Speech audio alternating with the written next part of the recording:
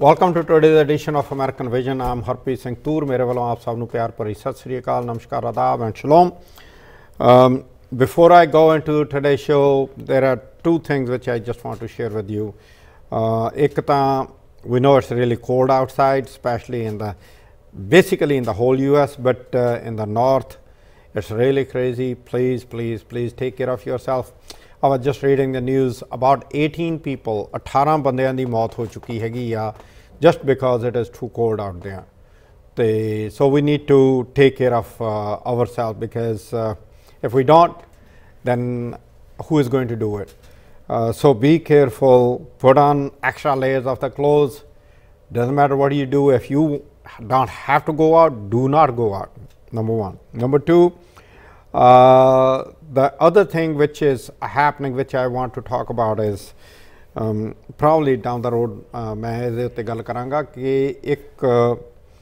ਸਾਡੀ ਕਮਿਊਨਿਟੀ ਦੇ ਵਿੱਚ ਮੇਰਾ ਖਿਆਲ ਹੈ ਸਾਰੀਆਂ ਕਮਿਊਨਿਟੀ ਦੇ ਵਿੱਚ ਇਹ ਹੁੰਦਾ ਹੈਗਾ ਇੱਕ ਨਾ ਵੀ ਕ੍ਰੀਏਟ ਅ ਬਬਲ ਔਰ ਉਸ ਬਬਲ ਦੇ ਵਿੱਚ ਅਸੀਂ ਰਹਿਣ ਦੀ ਆਦਤ ਬਣ ਜਾਂਦੀ ਹੈਗੀ ਆ ਤੇ ਉਸ ਬਬਲ ਦੇ ਵਿੱਚੋਂ ਬਾਹਰ ਕਿਦਾਂ ਨਿਕਲਣਾ ਕਿਦਾਂ ਅਸੀਂ ਅੱਗੇ ਜਾ ਕੇ ਕੁਝ ਕਰਨਾ ਹੈਗਾ that is something which we need to um, i think i personally believe that i need to talk about it.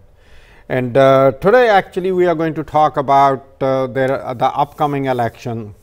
Uh, yes we have uh, a plethora of uh, democrats who are going to run for the president. We will not know till actually probably by april of two- 2020 who will be the front runner Right now, we have about seven or eight of them. Cory Booker from New, New Jersey, New York, uh, the senator from New Jersey, he announced today that he will be another candidate. Bernie Sanders is looking at it. We have Elizabeth Warren, we have Harris, Kamala Harris, we have um, Joe Biden looking at it, we have Gillibrand, uh, the senator from New York. So we will see. And even on Republican side, even though the sitting president is not challenged, but there is a chatter going on that somebody may challenge uh, Donald Trump. But we will talk as we go along. But today we are going to talk about a very important election which is going to happen right here in uh, uh, Queens, New York. It is about the district attorney. Uh, the primary actually is set for November the 5th. I mean, voting is for November the 5th, and primary is going to happen sometime in uh, June uh, 26, I think, is the primary date. So, the role, what, the, what is the role of the district attorney in the counties? Because a lot of us, uh, we can, whether you are dealing with the speeding tickets and if goes into nasty fight with somebody, it ends up into the DA's office. Um, we're going to talk about that and that how the new DA, uh, how they can actually change or make the adjustments into the existing policies to implement so that the people sometime get into something which they should not be in the first place, but they end up being there, and then they don't know how to get it out, get out of that. And uh, you sometimes end up getting a DA who is, uh, you know, whose intent is just to hang you up. That's it. Period. Doesn't matter what. Like old Western style justice uh, things, if I may say. Uh, but the th- time is changing. So, we are going to talk about that and to discuss that, I have a very good friend of mine, but he is also an attorney uh, who also was a city councilman for New York City at one time. And we are going to discuss about it. Uh, thanks, uh, Mr. Como, Anthony Como. Thanks Hey. for coming in. Thank you, Mr. Toor Harpreet. Thank you for having me. Well, uh, you heard me in the opening remarks. Uh, let's talk about first the perspective of the job of the DA, district attorney. Well, look, uh, I was proud to be in the city council, but I always say um, he was even prouder to be a uh, assistant district attorney, a prosecutor in Queens. So, being born and raised and living in Queens like yourself, Harpreet, uh, for my entire life, pretty much up until last year, um, you obviously know the area, you know the ins and outs of the community. So, being a prosecutor uh, for the county I grew up in and was born in was an honor. And you basically, your role, or everyone thinks your role, is to put people behind bars, and that's not correct. The role of a prosecutor is to make sure justice is served. Because today, and whether it's today, weeks ago, months ago, or even into the future, as we're going to see in the coming months and years ahead, the prosecutor, whether it's the district attorney all the way down to the assistant district attorneys, their job is to do justice. Whether it is from considering reform that has to take place, whether it's doing your due diligence and investigation and saying this this this is a mistake, this was this person's not guilty, and releasing them and dismissing charges, to up you know obviously prosecuting someone who has committed a crime, and if necessary, you know finding the just punishment. By that I mean, there's not automatically a you know uh, a person deserves to go to jail.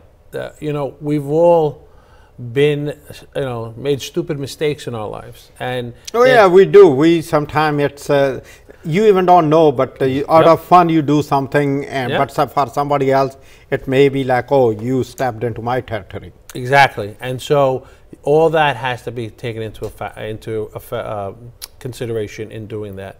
So that's the role of a prosecutor. Now again what does that mean? Justice is very broad and, and, and you know there's many interpretations. You may have your own interpretation as far as I may have, but that's the real role. You have to take the facts and take the evidence and take the information that's presented to you because the law enforcement, you are one of the top law enforcement officials in the county. The DA is the head chief law enforcement officer in the county. Assistant district attorneys are higher up in the legal food chain, what I like to call it, than the police department. because the law enforcement, the police department, or whatever enforcement agency ha may have the power to arrest you, but after a certain period of time, they, they have to, the district attorney has to charge you. If you're not charged, then you're going to be legally have to be released.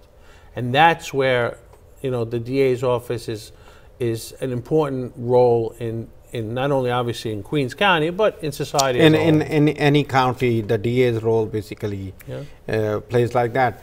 Sometimes, uh, you know, because I, I just want to make the people understand that how it works. Sometimes what happens is uh, somebody gets assaulted or somebody gets, uh, you know, um, basically um, a guy goes around assaulting one person, then the second person, then the third person. He gets arrested, he goes to the court, he gets out on bail. He gets assaults another person, goes into the court, and uh, you know comes out again with extra bond. People sometimes, you know, because this is important for the immigrant community to understand, sure. because they are going to be the part of the election process. So I just want them to understand that how come that the guy who does that kind of thing goes in and then comes out without you know, or, or is it that the system uh, is back backlogged and uh, they just release him on the bail till the hearing takes place? Well, look, I, I, I'd like to think that this this role, this you know, the system itself works. Um, to say, could it always be improved? Sure. Are there, you know, is it perfect? No, absolutely not. You know, I'm, and you brought up a very good point, Harpreet. You know, I'm first generation born in this country. My parents were born overseas. So I am proud to consider myself family of immigrants and, and an immigrant, uh, even though I consider this my country. I don't want to say the system is broke. Again, a person gets arrested and they get charged with a crime. Let's say you hit me, whether intentionally or whatever it is, um, and you get charged with a crime. A lot of factors are taken into consideration. The system is you when you go see the judge, once the district attorney charges you with the, let's say, assault, it, it's you're taking several factors: the seriousness of the assault, the the whether or not this person has ever done it before. Legally, bail. The only reason for bail is whether or not a person who's been charged with a crime is going to return to answer for and handle his criminal matter. So it's not supposed to be used as a punishment to you know, I'm going to hit someone with extra bail because they did this case. Now, obviously, when judges consider bail, they are going to take the seriousness of the case in because obviously if if I assault you and you have a serious injury, the case is a serious matter and I may not want to return on the case because I have much more serious consequences or penalties to be facing, as opposed to me and you, uh, I don't know, uh, get into a, a Just silly argument. slap, silly argument, slap, and, and, and then, yeah. obviously the case there was no serious injury and and you may turn around and say you know what? We were both building silly. I mean i, I don't want to see my friend uh, you know hurt and punished severely. So those are all taken into consideration as well as whether or not the, like if i were to do it have i ever did it before? Uh, was i under the influence of any uh, substances or alcohol or you know so all that is taken into consideration. Normally on cases of first offense, whether it's on a misdemeanor charge, whatever it is, normally it's the right thing to do depending again depending on the facts and circumstances. If someone's never been in trouble before they will be released without bail. Once you start getting to what you call or we like to call repeat offenders or recidivists i can guarantee you that the district attorney uh, recommends bail because Harpreet, you know like i do you cannot the district attorney cannot set bail they can request bail but ultimately it's up to the judge It's up to the judge. Right. And uh, sometime, okay, there is uh, another uh, scenario. Let me put it out uh, this way: that uh, DA or assistant DA has the discretion about that. Okay, requesting the judge that okay, Harpreet is a threat to the society, and I would like you to set up the bail at about fifty thousand or hundred thousand dollars. But the judge looks at the facts, like you mentioned, you know, how it happened, what happened, okay? And then he says, no, okay, I will do it only for $5,000. Uh, do the DA or ADAs, they have uh, any discretion or they can request the judge to increase the bail and the judge will consider it uh, or it is just whatever the judge says at that time? Well, if if the judge, we're talking about, let's say, when you're first going, the first time you go in front of a judge is at the arraignment process. The DA will make their arguments why they're asking for, let's say, like you request a fifty thousand dollars bail. At that point, the defense attorney or whomever is representing the person who's charged with the crime, then uh, ends up making their argument why there should be less bail or no bail, and what's the reasons for it. At that point, the judge, many times, especially in Queens County, um, will even ask their own questions of either side, whether or not they believe, or because they have facts or questions that are not answered. And many times, once the judge sets the bail, that's pretty much standard. Uh, and I mean that that will stay in place for that point. Once then the case progresses, if the case progresses and what the law says, there must be a change in circumstances. Uh, let's say he gets rearrested on something else in another county and the DA finds out about it, then the, the DA may ask, or let's say someone's in on bail and the, the a witness recants or they find evidence to the contrary of what the people are bringing, like alibi witnesses. Then again, those are changing circumstances in which you can either side can ask for an increase, or obviously on the defendants or you know the client's uh, perspective, they ask for a decrease in bail. Uh, we are about to go on a uh, break right now, but when I we come back, I want you to uh, distinguish when, if I want to pick up out of five candidates about the DA, what should I look for before I cast my vote after we come back from the break. Welcome back to American Vision. So, right where I left, how do I pick up out of those five, six, seven, eight candidates that which will be a better DA? Uh, what should I be looking into to decide it? I have to tell you, first and foremost, Harpreet, I, I want to stress, uh, like you just said before we ended, um, the most important thing is to get out and vote.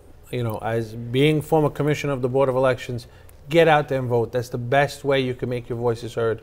And uh, that's why having forums like this and, and sitting down and talking is so important.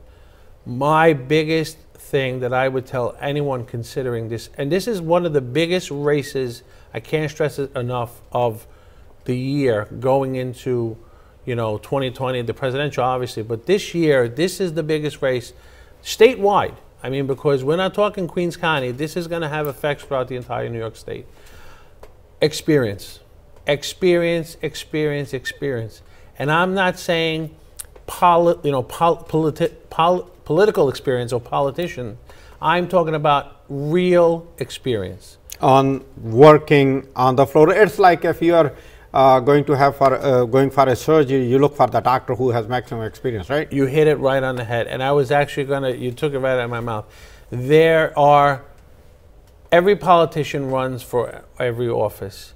This is the office unlike any other in the state and again in the nation. Every state or every county has their own district attorney. But you're a law enforcement officer here. So you do not have the time to come in day one and say, okay, I'm going to learn and I'm going to have a learning curve. You don't have that here. Or you change the position today, you have one position, tomorrow you will have different position because you are interpreting the law and implementing it. And this is a role that is ongoing 24 hours a day, seven days a week. It doesn't stop. When I was a prosecutor, I worked on every holiday. When I there was a homicide, I would get beeped. I went to crime scenes, whether it was Thanksgiving, whether it was uh, you know your New Year, whether it was whatever day it was, we were out there, and that's why crime doesn't stop, and and neither can the person, you know, in charge of it, prosecuting. Uh, So basi- basically, it's a job uh, where you become, or everybody else within the county, or anybody who comes to visit the county, God forbid something happens, that person or that thing becomes part of your family. You are out there, even if it is zero degree outside. There were Harpreet, there was many times I could tell you that I was freezing because you know, especially at nights, you know, this unfortunate incidents happen at nighttime, and there was many nights I could tell you I was freezing, and with there with the police department in regards to whether it was a vehicular homicide or an actual murder. Um, so yeah, you're there nonstop, and you have to also remember, you have two of the biggest airports in the United States in Queens County. In Queens County, yep. So you, this is not a role for a politician. This is a role for a prosecutor. You cannot tell me that. And again, I, many of the people running for the seat I've worked with in the council and in government, but they are not ready for this job. And the reason I say that is because you cannot just say, okay, I want to run for this position. This is not it. This is a position who the person who does it has to have done it, knows it, and be able to be there from day one and taking that role and run with it. And uh, I was going to say, and uh, to, to pick up what you said before, for me, when you say a politician, and the reason I bring this up, Harpreet, because I heard there was an elected official, I don't want to mention names, but there was an elected official came out today and endorsed one of their cronies, political, you know, another polit- politician. And the reason was when he was questioned about why endorse this person with no experience, they claimed that it was an administrative role and that they would have no problem, you know, getting into the role once if they were elected. Let me tell you, that could be not only farthest from the truth, but that is absolute biggest lie I've ever heard in my life. That's like saying a butcher is qualified to be a surgeon. That's how ridiculous that statement is. Because the person is in politics, and that doesn't happen. There are thousands upon thousands of investigations going on every day from wiretaps that no one ever hears about, search warrants, uh, grand jury investigations. Every every case. When I was a prosecutor, you had many cases that you continue to investigate with detectives and so forth. Everything from listen, very very serious cases, drug cases, murder cases, to less serious. I'm not saying they're not, but you know, drunk driving cases and assault cases. It's it's interesting. and Now you mentioned that wiretapping, uh, wiretapping, and uh, um, other house search warrants.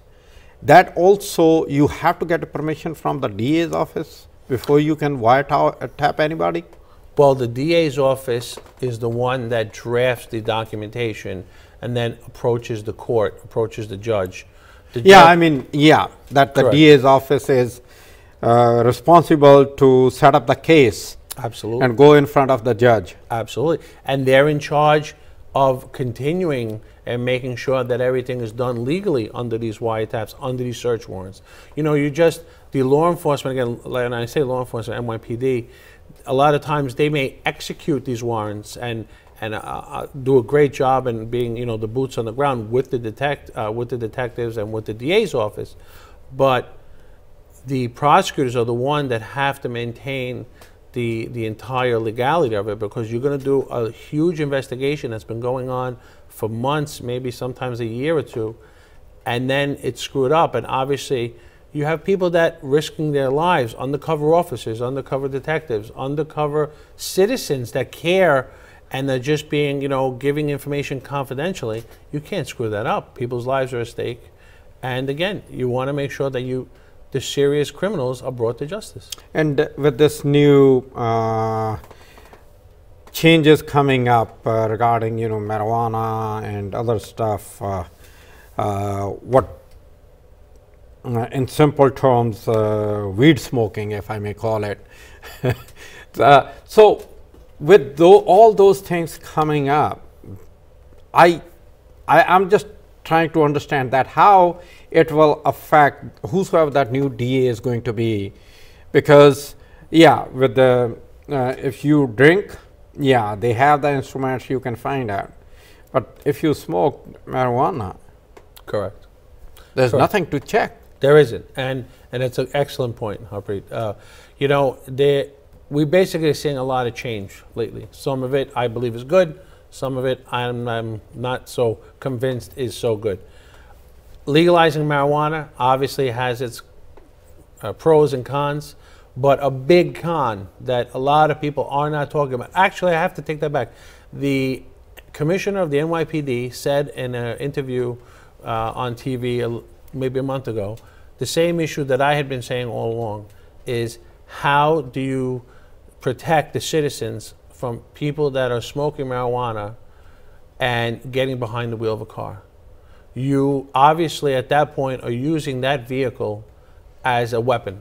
There's no doubt about yeah, it. Yeah, literally, and that's so that's why uh, they they even talk about that. If you drink, do not drive because yeah. then whatever you're driving, it becomes a weapon. Correct, and it's not intentionally. No one's saying you're doing yeah. it intentionally. You're going to hit somebody, but it's recklessly, and that is there are you know sections of the law that you kill somebody, you're being charged with murder or manslaughter because of you know what you've you done. are driving under Correct. influence. And when it comes to uh, you know marijuana or whatever you want to call it, there's so many different slangs for it, but there's no way to test it. Like when like you point out, you they have breathalyzers and, and blood tests and your analysis of when a policeman pulls someone over, of um, exactly knowing based upon your height and weight and you know how much you drank uh, they can test it in the breathalyzer exam that they administer at various precincts.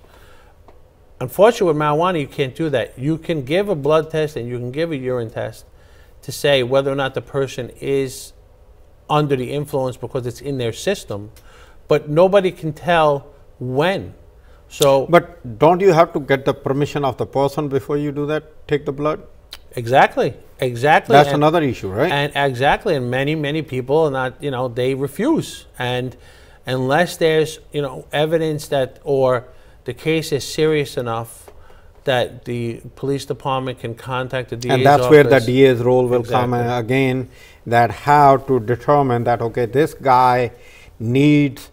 Uh, again, going to the judge that okay, Harpreet refused. Correct. But judge, we need you to give us the permission Correct. to force him to give us uh, a sample of urine or the blood, right? Right. And even then, the problem is going to be prosecuting uh, because how long has that been in the system? Has it been an hour? Has it been a day? Has it been three days? And so that also changes the legality of it. And I know because, like I said, being in the Queen's DA's office, firsthand we had that issue.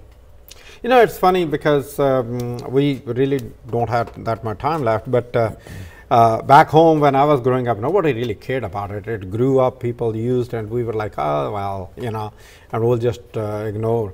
But uh, now here, after I came here, I found out about it. So it's it's really funny. But uh, anyway, uh, before we run out of the time, I want you to just in about 30 seconds, 40 seconds, explain again to look what they should be looking for to vote for the DA. And uh, of course, voting is important. Yeah. I mean, ladies and gentlemen, I, again, I can't stress enough experience, experience, experience. You have, of all the candidates, there is only one that I could tell you personally is has been in doing law enforcement in this role for the past 40 years. You know, lived in Queens his whole life, been a prosecutor for 30 plus years, started as in the lowest office and worked his way up immediately into the major cases bureau. Uh, was an executive, and then after that, instead of retiring, was elected to Supreme Court and prosecuted every serious major case in Queens County. There's no other person with that type of experience. That's all I'm, you should do is make sure you read and you find out who has the experience to get the job done because it's a serious race that's going to affect. It's not just crime; it affects, you know, your quality of life. It's going to affect property we, owners. We just ran out of time. Uh, the gentleman will be here also on the show, and we will have other content contenders also to become the DA. Till next time, good night and good luck.